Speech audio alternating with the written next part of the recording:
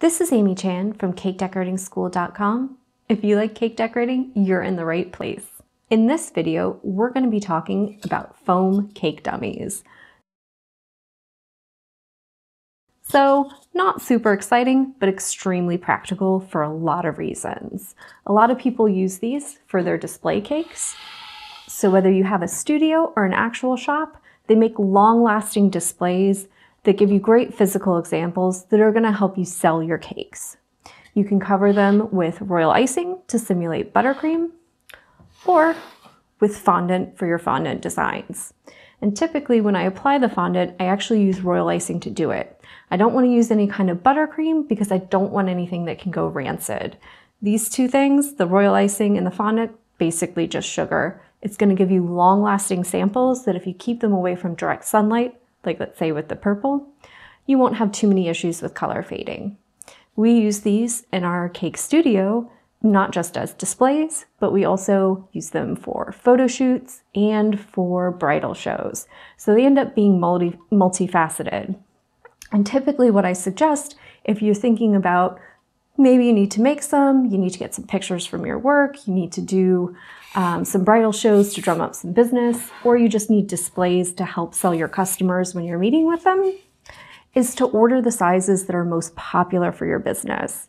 So for us, we tend to do smaller wedding cakes like the one in the back, which is a four, six, and eight inch round.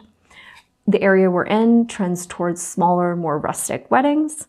So it's an extremely popular size for us. So you want people to be able to visualize what they're ordering when they're ordering it. And it helps to have a display that you can put out, put on a stand. It's easy for them to then imagine putting flowers on it and customizing it for their event, right? So order the sizes that are going to suit your purposes, right? If you're in an area where you have tons of ballrooms and you're doing big cakes, then obviously bigger is going to work for you.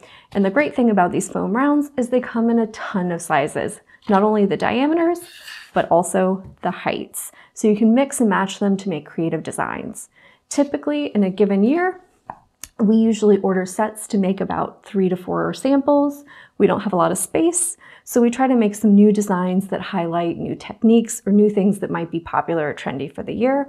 And we work those in with some classics, right? And keep those out on display. And then we loan them out to photographers and planners and other things just to help generate business and interest.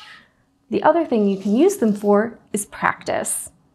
So if you're just getting started and you're working on your techniques, especially if it's practicing on the side of the cake, I have this one that I've just mounted to a cake board to make it a little heavier, right? And a little more weighted, so easier to practice on.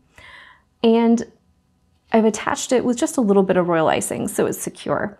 And that means I can practice things like swags and writing on the side of the cake without having to physically bake, and ice a cake. So it's a great way to practice your techniques, whether it be simulated buttercream, covering things with fondant, or just your piping techniques and your placement. You can always mock up arrangements and work on designs on these as well.